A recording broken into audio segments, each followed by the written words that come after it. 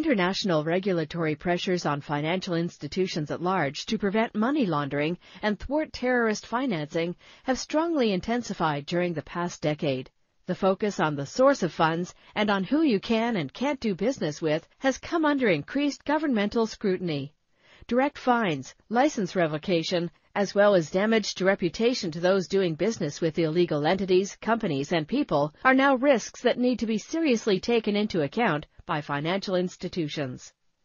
Given the volumes of messages, transactions, transfers, given the complexity of the operations and the large number of illegal entities, it is a must that institutions equip themselves correctly with automated software and adequate procedures.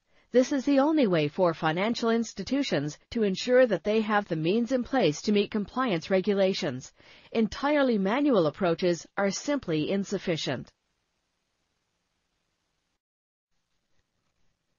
In most jurisdictions, AML regulation requires financial institutions to monitor, investigate, and report transactions made with dubious or suspicious counterparties anywhere in the payment chain. Financial institutions have to make sure the beneficiary, the order giver, as well as the entire series of intermediaries are not listed as entities it is illicit to do business with. This includes countries through which funds are not allowed to pass, or countries where funds are not allowed to be deposited, typically non-cooperative ones. These checks are part of wider KYC, Know Your Customer policies that are becoming increasingly important globally to fight identity theft, money laundering, as well as terrorist financing. By checking names of companies and individuals in transactions, financial institutions will get a view on whether or not the business they are conducting is considered legal by the local regulator, as well as regulators that may be of importance to the bank should it do business outside of its country's borders. EastNets offers a cost-effective and rapidly deployable anti-money laundering filtering solution with EN SafeWatch filtering. This solution has been on the market for over a decade now and has undergone considerable improvements over that period and is now considered as one of the market leaders with over 350 installations worldwide in over 80 countries. This breadth of deployment is a testimony to the flexibility of the solution in terms of addressing multiple regulatory and reporting constraints. Both local banks and global banks benefit from this adaptability and scalability to comply with ever-changing needs imposed on filtering and customer due diligence. EN SafeWatch filtering serves as the central data processor for the identification of blacklisted entities. The system is now geared for real-time analysis of the content of both inbound and outbound messages 24 hours per day, 7 days a week. The system also takes into account the fact that regulations and attitudes of banks towards risk have also evolved. Initially, only cross-border messages over a certain threshold needed to be investigated. The latest trends have it that even new types of payments such as SEPA in Europe, NACHA in the US need to be scanned, and XML format messages. This has pushed financial institutions to look beyond quick fix solutions and have required the implementation of cost-effective and efficient solutions geared towards multiple interdict lists and massive volumes and different formats of messages and customers to be checked.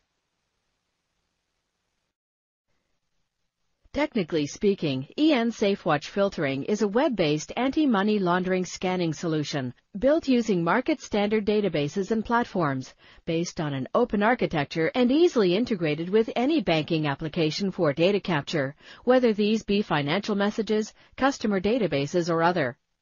The two key challenges addressed by the filter are a combination of speed of execution and reduction of false positives. The speed of execution requires the latest scanning technologies to be implemented at several levels. Ability to handle large volumes of content to be scanned, messages, customer databases, customer or company names. Ability to compare this content with large lists of interdicted entities. These lists of blacklisted entities, politically exposed people, internal lists overlap at times and evolve rapidly ability to link lists together and recognize in an automated fashion when a given name is in several lists. The reduction of false positives is a subset of speed of execution that is looked at closely by the regulator. Typically, the automated scanning filter needs to help the compliance operator pinpoint suspicious messages or names. Most of the task in setting aside non-suspicious names can be done by the system without manual assistance. This, however, leaves a pool of messages or names containing the real positives that require manual investigation. Obviously, the scanning filter can be tuned to reduce false positives without risking a false negative. This truly differentiates the EastNet's filter from less performing ones. These characteristics may not have a great impact in smaller institutions, but in medium to large institutions the workload and the efficiency of the compliance department is closely related to bit speed of message processing and the percentage of messages that go to manual review. In smaller institutions, however, the sheer complexity of the checks to be performed makes it difficult to have an all-out manual approach. A further feature that comes into play is the amount of information and how that information is presented to facilitate the review of the hit and document the decision as to whether or not the hit was a false one.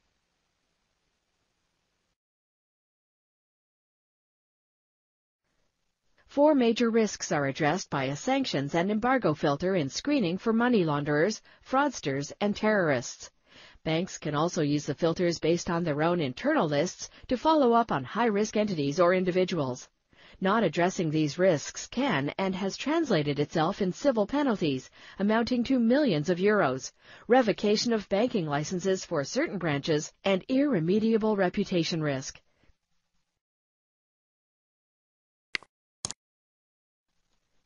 Failure to block or reject and report a suspicious transaction each regulatory body which maintains a list of interdicts also has a set of rules and procedures to follow once the compliance officer has identified a true positive.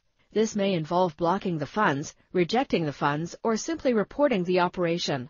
In any case, a suspicious activity report, SAR, will need to be completed and sent to the regulator. Failure to document a list risk assessment. The AML risk assessment related to interdict lists is one of the stepping stones of compliance risk management and KYC. The usage of the tool, of the workflow, of escalation, and decision points all need to be documented and personnel trained and made aware. This risk assessment document should be approved by the Board of Directors and updated when there are changes in the customer base, in the product offering, or in the regulations themselves. Failure to check the content of transactions based on the bank's risk is an important point for the financial institution to take into consideration. The regulation constitutes a framework for all institutions, but does not specify a number of thresholds and frequencies that need to be decided upon by the individual institution itself. The compliance department needs to determine what transactions need to be checked automatically and which ones not. It needs to decide upon a strategy to check the customer database, there will always be some manual checks related to parties that are not account holders or for which the information has not been digitalized. Some monetary instruments below a certain amount may also only be checked on a random basis. Failure to use updated and completed lists is a big headache for financial institutions given the number of lists, the number of sources, the differences of frequency in publication, the overlaps between lists, their specificities, and their applicability. This failure to use the correct version of a list can also be a complete failure to include a type of list such as a PEP list which have come under increased interest given recent political turmoil.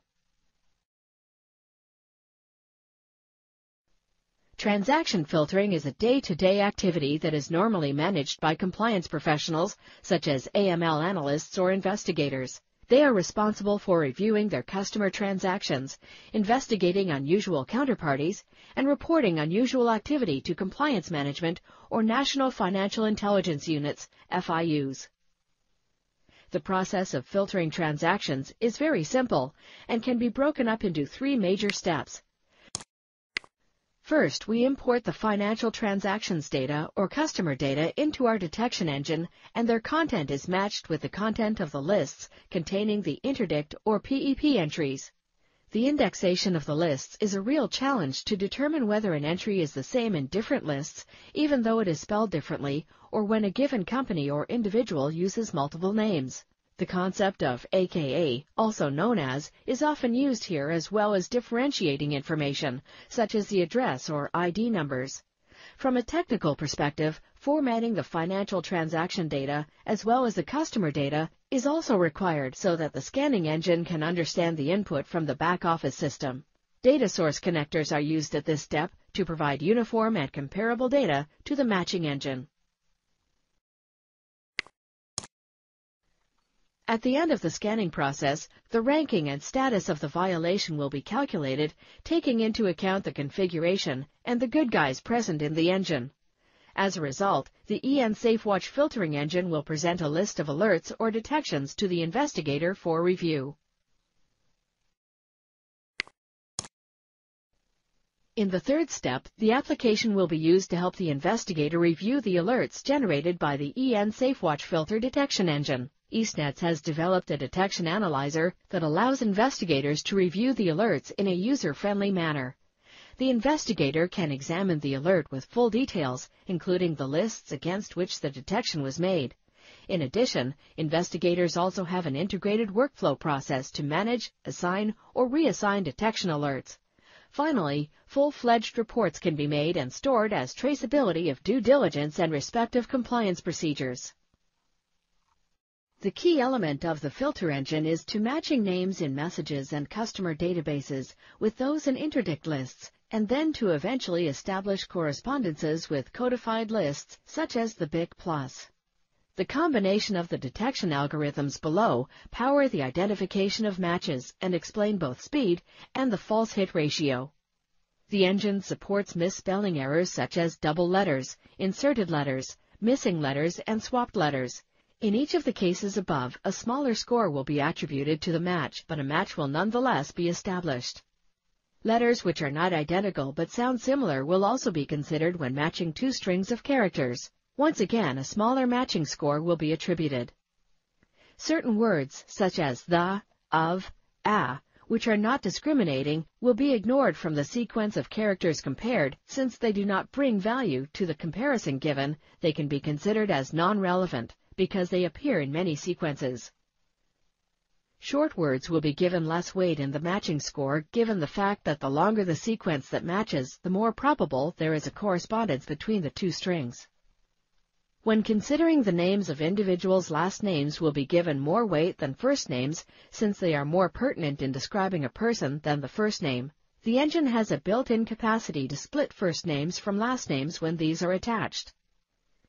Unexpected or inserted words are also identified and taken into consideration. The order in which the words are identified will not affect the matching engine, but will affect the final score given to the match. All in all, it's the combination and the order in which the engine performs the tasks above that influences the speed of the engine and the false hit rate. For example, should phonetics not be considered, the engine will be faster, the false hit rate will be lower, but the probability of missing a real hit will be higher, which is a trade-off which will not be acceptable to the regulator.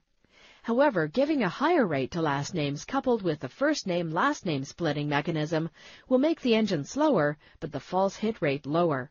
These are the sort of trade-offs that need to be carefully considered when implementing a scanning engine. Business requirements related to regulatory demands need to be balanced with automation of processes and tuning of the filter.